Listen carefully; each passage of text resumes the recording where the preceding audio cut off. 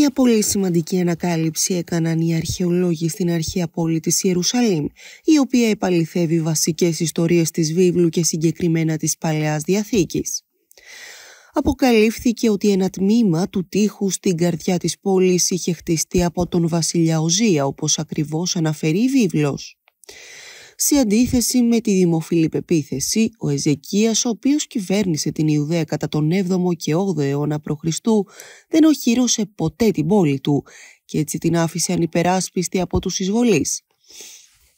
Θα πρέπει να κάνουμε μια ιστορική διευκρίνηση. Αμέσως μετά το θάνατο και το τέλος της βασιλείας του Σολομώντα, το πανίσχυρο βασίλειο του Ισραήλ διασπάστηκε σε δύο βασιλεία, τα οποία κατά καιρούς ήταν και αυτά αρκετά ισχυρά.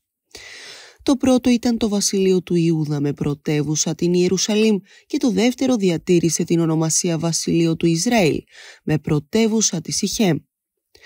Το πρώτο αποτελούνταν από τις φυλές του Ιούδα και του Βενιαμίν, ενώ το δεύτερο συνθέτονταν από τις υπόλοιπες δέκα φυλές.